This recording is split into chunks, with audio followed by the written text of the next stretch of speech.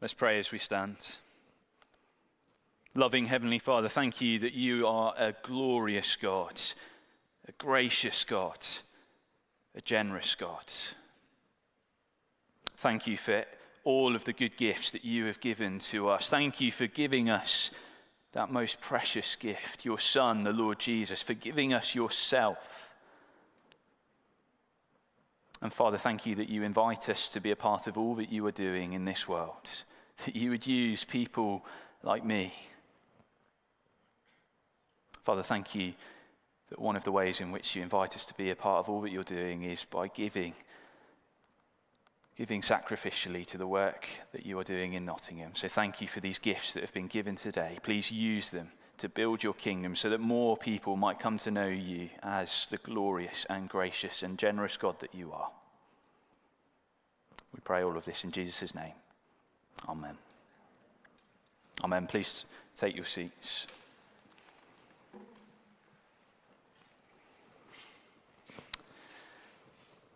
I hate walking. Uh, it's one of the reasons I became a fisherman. Much less cardio, much more upper body strength. No wonder Jesus changed my name from Simon to Peter, the rock. Uh, but there's this one walk that stands out. Jesus took me, James, John, his inner circle, on a short walking holiday.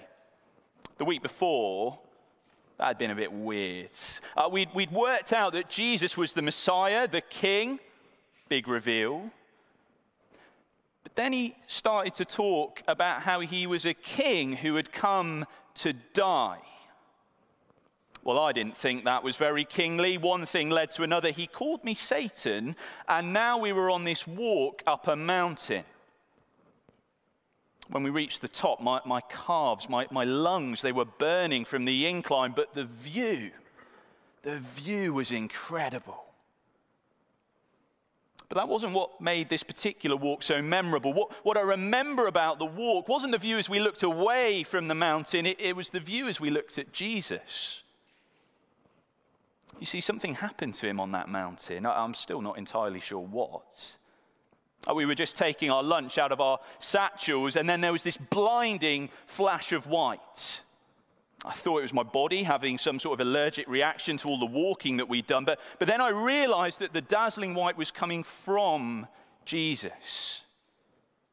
He changed in front of our eyes. I, I want to say transformed, but, but that doesn't quite do it justice. So, me and the boys created this new word to describe it on the way down transfigured. One minute, Jesus' forehead, it was glistening. He had these unflattering sweat patches from walking up the mountain. The next, his clothes were radiant, white, uh, whiter than snow his appearance and his clothes, they, they, weren't the only thing that had changed. We, we thought that Jesus had invited his inner circle on an exclusive lads' walking holiday. Uh, we left the other disciples back in the town at the bottom of the mountain. But, but then suddenly Jesus had not one, but two plus ones. But these were some plus ones. Uh, none other than Elijah and Moses, the Elijah and Moses. And if I'm honest, I wasn't quite sure what to say or to do. James and John still give me stick for this. In my weird mix of excitement and fear, I said to Jesus, Rabbi, it is good for us to be here because it was. It was an experience like none other that I've had. Then I went on to say, let us put up three shelters one for you, one for Moses, and one for Elijah. That's the part that James and John ribbed me for. But here was my thinking. Part of me wanted to put up some tents as a, as a sign of respect for Jesus and his plus ones. I mean, it's not every day you get to meet the Elijah and Moses. I was starstruck. I didn't want them to leave. I wanted to bask in that glorious moment forever. But there was also something about Jesus that, that made me want to put him in a tent. Uh, don't get me wrong, looking at him was glorious. Uh, he looked, well, he looked beautiful, radiant, pure, clean. He looked glorious. As I looked at him, my, my eyes were transfixed as he was transfigured. But the longer I stared at him, well, the more fearful and uncomfortable I became. Uh, his beauty was glorious, don't get me wrong, but staring at him, staring at him in all of that glory, well, it, well, it just made me really aware of how dirty I was. His beauty made me want to avert my gaze because I knew how ugly my heart was. And so I think part of what made me offer to build him a shelter was that I wanted to hide him away. It was too much. I wanted to put him in a tent like one of those tabernacles of old. But in the end, none of those grand tent designs came to pass because on that clear summer's day, one cloud appeared and hid them all away. And then from that cloud came that voice. Oh, that voice. It's the kind of voice that made me want to bow to my knees and jump for joy at, at, the same time that, that gave me goosebumps and butterflies. And it said, This is my son whom I love. Listen to him. Listen to him. That was strange. Jesus had just been transfigured before our eyes. He looked more glorious than anyone or anything I've ever seen. And yet the voice didn't say, Look at him. It said, This is my son whom I love. Listen to him. It's like that voice knew the conversation I'd have with Jesus just six days before. Uh, that one where I'd rebuked him for saying that he was a king who'd come to suffer and die. It was like the voice was saying, I only knew half the story. Sure, I might have known who Jesus was the Messiah, the King. But he was saying that I needed to keep listening so that I knew what kind of king he was. I still hate walking, but that is a walk that I'll remember to my dying day. We're back in the book of Mark uh, over the summer here at Cornerstone in our evening service. And if you've been with us over the past year, you'll know that we, we worked our way through Mark's Gospel in a, a few parts in a series titled, Who is This Man? It was a question that we saw answered in Mark chapter 8 as Jesus' disciples rightly identified him as the Messiah, the Christ, the King. But though in chapter 8, Jesus' disciples can look at Jesus and see his identity clearly, they've still got a lot of listening to do. Because though they have rightly identified Jesus as the Messiah, the King, they haven't yet understood what kind of King he is or why he has come. That's the question that dominates the second half of Mark's gospel what kind of king is Jesus? It's why the Father's voice in our passage says, This is my Son whom I love. Listen to him. And so, as we come to our passage this evening, let's heed our Heavenly Father's words in verse 7. Let's listen to the words of his Son Jesus as he speaks to us by his Spirit through his word, the Bible. And as we listen to Jesus' words, my, my prayer is that we will see more clearly what kind of king it is that we follow if we follow him. And that will lead us to grow in love for him, in worship of him, and in dependence upon him. So, three points this evening. Our first a king of glory. Glory is a little bit of an abstract word, isn't it? Uh, it can be a hard word to define and pin down, but we know glory when we see it. Uh, glory has often been associated with power and victory. Historically, people might have pointed to the battlefields, maybe to the gladiators' arena, and, and spoken of them as, as places where glory was there for the taking. And today, we might do the same with the sports pitch. The, the winning team covers themselves in glory. Sometimes, sometimes they win on penalties. But we also associate glory with beauty beautiful summer sunsets, slowly sending a spectrum of, of glorious color bursting across the sky. Or the dark night sky on a cold November's evening, suddenly lit up by the explosion of a glorious fireworks display. We know glory when we see it. And as Jesus leads Peter, James, and John on a trip up a high mountain, they get to see a glimpse of Jesus' glory. Verse 2 again, look with me. After six days, Jesus took Peter, James, and John with him and led them up a high mountain where they were all alone. There he was transfigured before them. His clothes became dazzling white, whiter than anyone in the world could bleach them. And there appeared before them Elijah and Moses, who were talking with Jesus. Jesus is transfigured before his disciples' eyes. One minute they're, they're on a walk up a high mountain, the next, glory. So they see Jesus' power and beauty on display. It's interesting that Moses and Elijah appear at this moment. They're often seen as representing the law and the prophets. But I think it's even more than that. In Exodus 33 and 1 Kings 19, uh, you can read that both Moses and then Elijah, they saw the glory of the Lord as they too were up on a high mountain. Maybe take a read of those passages later. You'll, you'll maybe notice some more links that Mark wants us to see than we have time for now. But just as Moses and Elijah got to see the glory of their God in the Old Testament, so too do the disciples get to witness the glory of God in Christ here.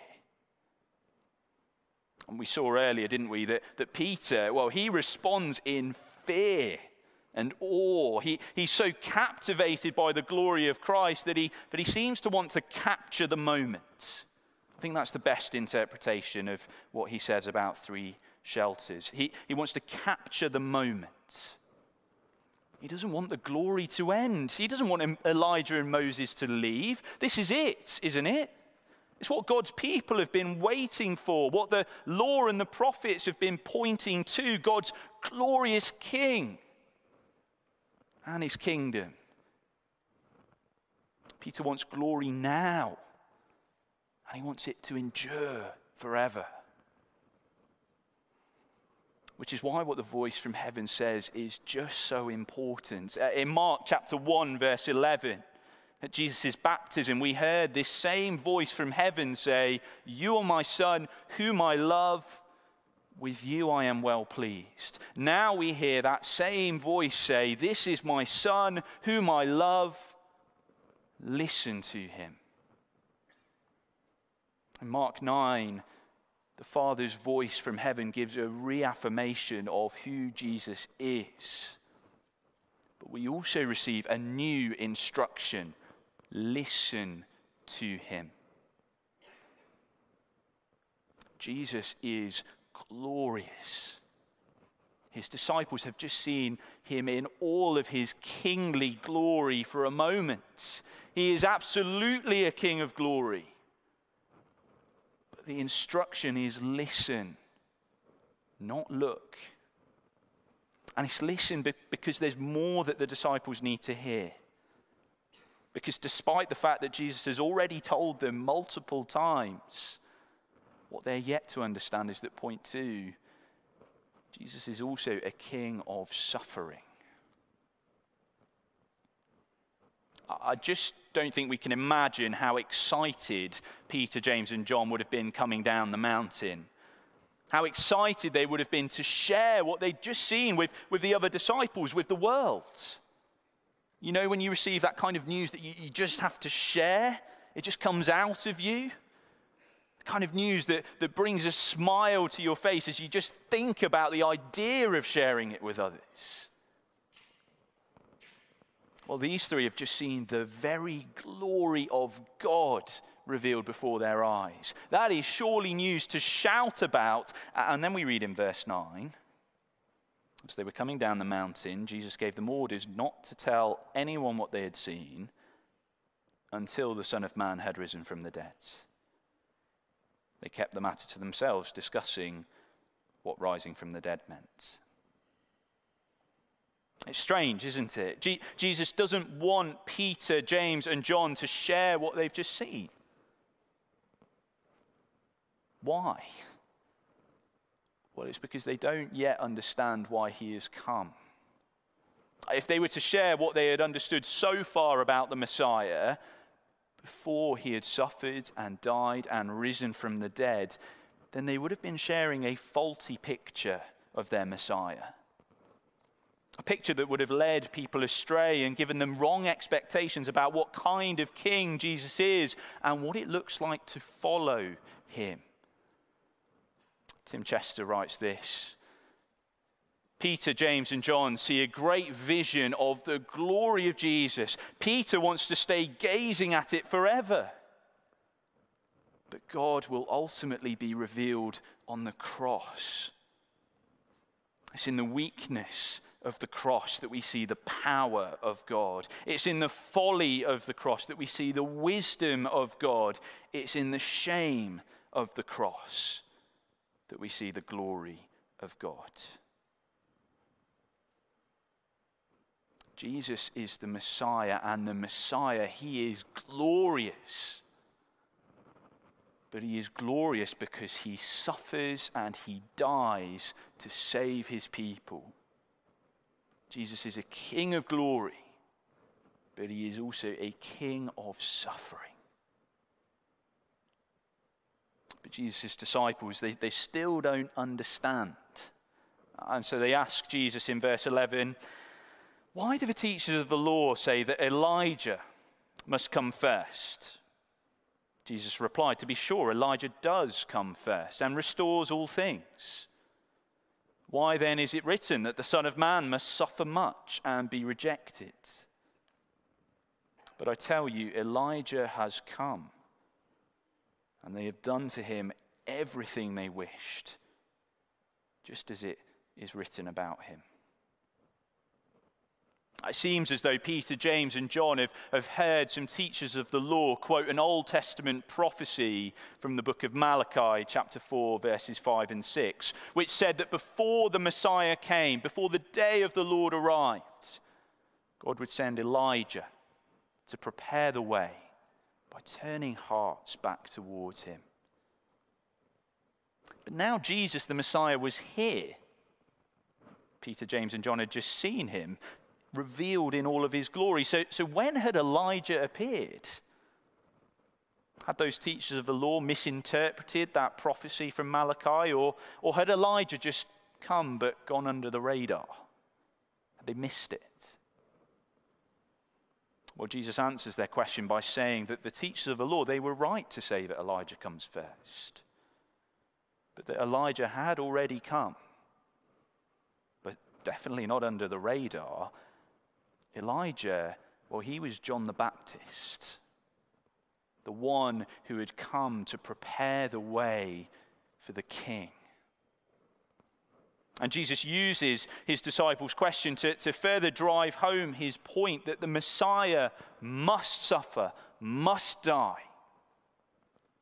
What did the people do to the forerunner of the Messiah, to John, the one who prepared the way? They did everything they wished, rejected him, had him killed.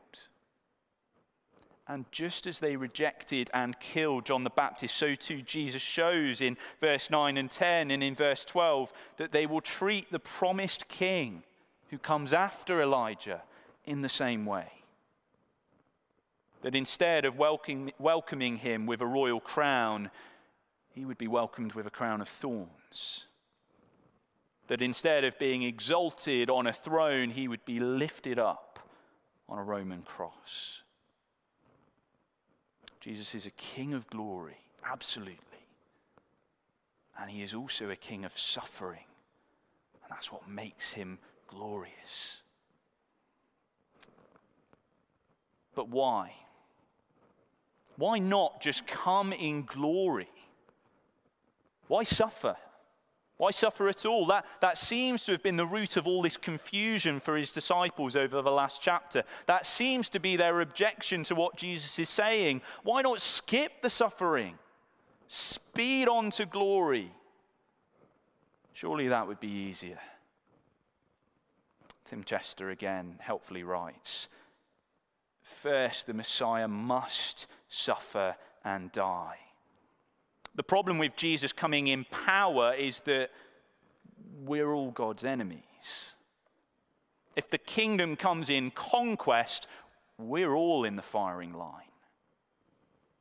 But God's plan is to save his people, to create a new humanity, and to grant forgiveness. So, first, Christ must die in our place. The king himself is going to be conquered. He is going to bear our punishment.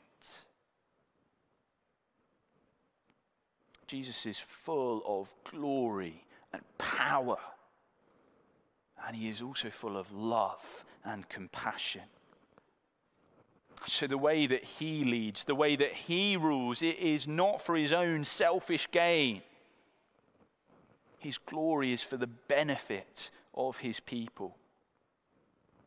He could have come gloriously in power, but first he came weakly in suffering, choosing to die upon a cross so that all who submit to him as their king might be saved when he does come in power one day.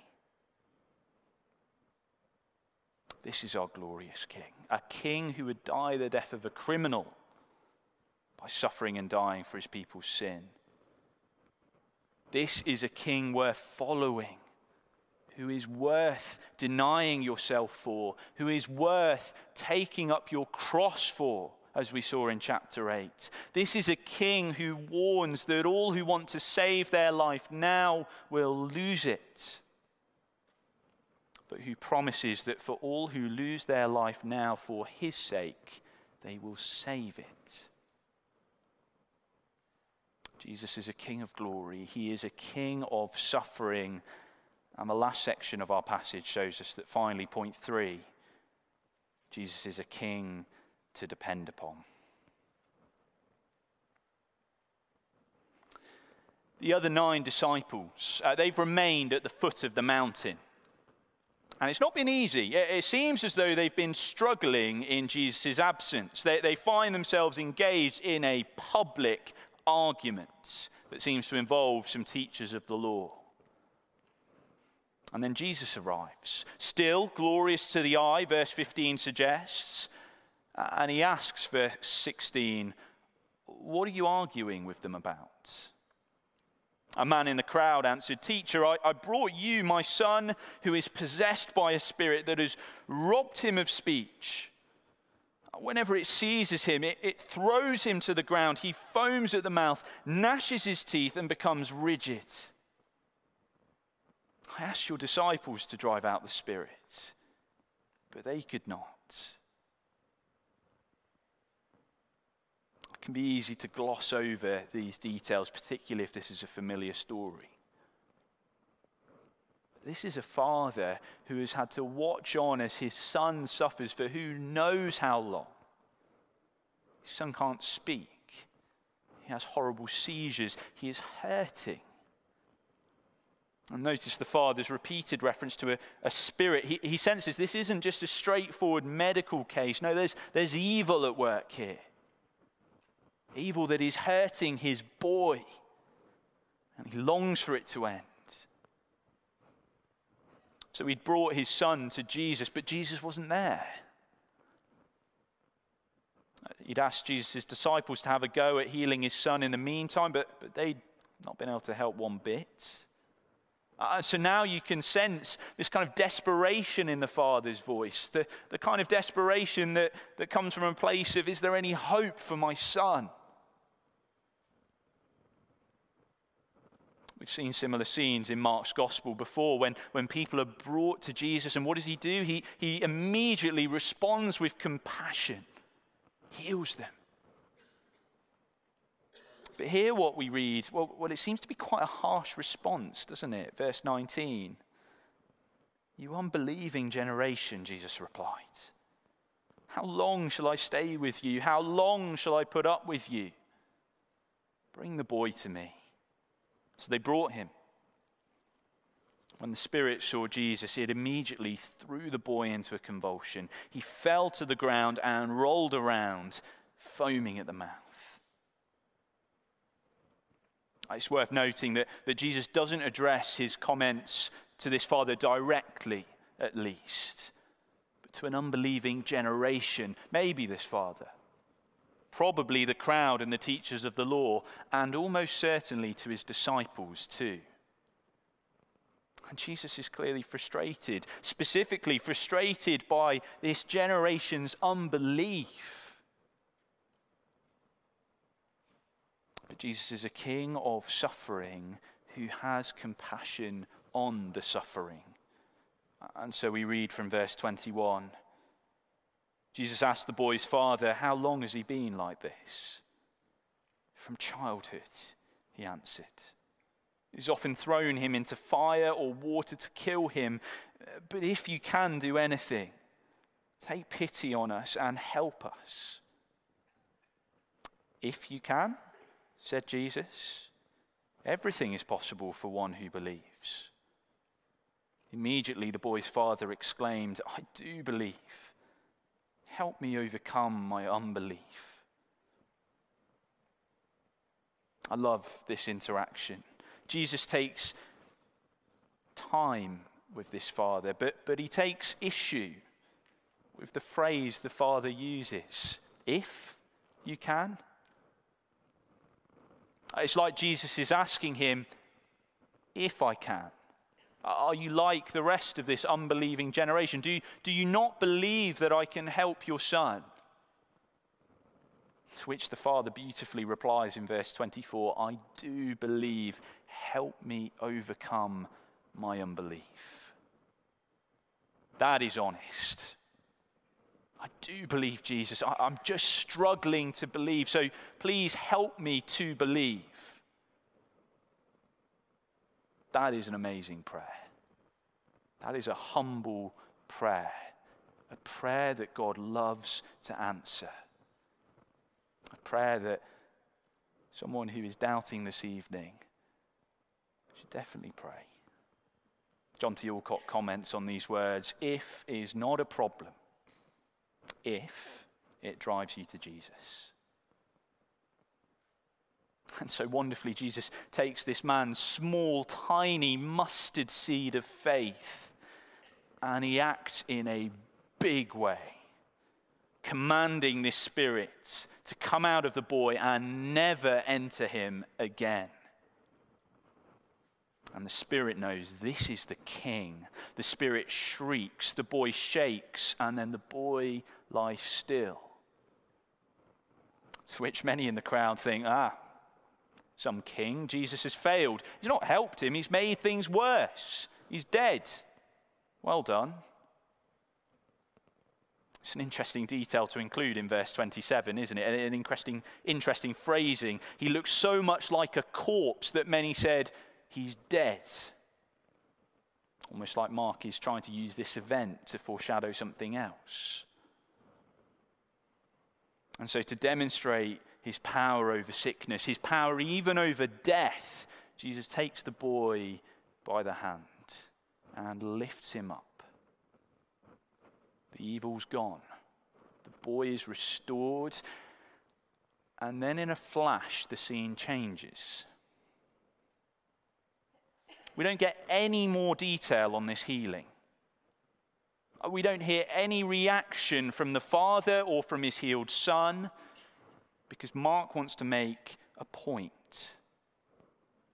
Mark instead takes us to a private room where Jesus speaks with his disciples, verse 28. After Jesus had gone indoors, his disciples asked him privately, Why couldn't we drive it out? He replied, This kind can come, can come out only by prayer. Now, that is a strange ending to our passage. What, why does Mark choose to end here? It's probably not where I would have ended. Why not stay with the Father and His Son and the rejoicing and the joy? Why come here? Is Jesus just trying to reassure his disciples that they shouldn't beat themselves up because, well, this demon, he was a proper professional, unlike some of the semi pro demons that they'd come across before? Well, no, I don't think so. I think instead Jesus is trying to expose his disciples' total lack of dependence. at the start of this strange episode, there is no mention of the disciples having prayed at all when trying to cast out this demon. Uh, in fact, there's, there's no mention of Jesus from them either. They're silent. This father had brought his son to Jesus in verse 17, but when he'd asked them, to heal his son. Rather than wait for Jesus, rather than pray, the disciples had had a crack themselves in their own strength, it seems, and, and what had happened? They'd, they'd failed. They'd been unable to do anything. And so I think why Mark ends here instead of somewhere else is that Jesus is trying to show his disciples their total need to be dependent on him that this kind can only come out by prayer, by asking God to intervene into a situation where they are powerless. Because that what, that's what happened in these verses, isn't it? God gloriously showed up in the person of Jesus. And when he did, he did what his disciples could not do in their own strength as he helped the suffering, as he showed his glory, as he showed that he is a king to depend upon. We like to depend on ourselves. But depending on ourselves, it is exhausting. It comes with a pressure that we were not made to handle. And often, when we depend on ourselves, we let ourselves down and we let others down. Writer called Melissa Broder writes I Fear others will discover that I'm not only imperfect, I'm not even okay. I fear that I truly am not okay. But most people who meet me never know that I'm struggling. On the outside, I'm smiling. I'm juggling all the balls of okayness physical, emotional, mental, spiritual, existential. Underneath, I am suffocating. Depending on ourselves is one of the many hollow messages that our world loves to preach. And though it will work well in some situations, depending on ourselves, it will not save us from our sin. It will not save us from the power of evil. It doesn't save us from exhaustion or even burnout. And so instead, the second half of our passage has shown us a better way a more joyful way if we will only listen.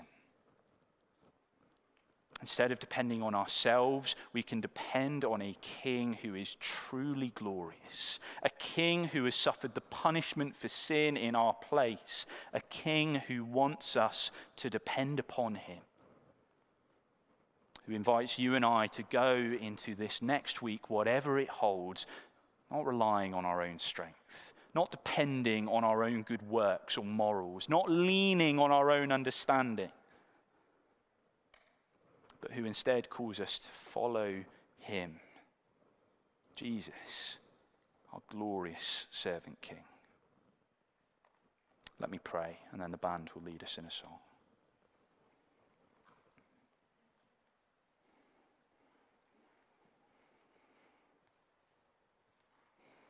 Our Father, we so love to depend on ourselves.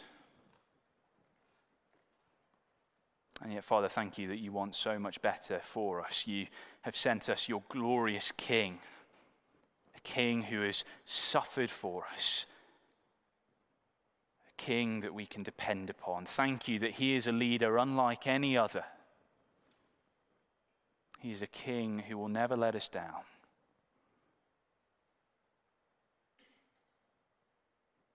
Father, help us to fix our eyes on Jesus, the servant king, not just this evening, but throughout this week. When we are de- tempted to depend on ourselves, when we are tempted to think of Jesus in a way that he doesn't reveal himself to us in, would you remind us of what we've looked at this evening? Would you correct our thinking? Would you help us to listen to your Son? And would we depend on him in all that we do? Pray this all in his name. Amen.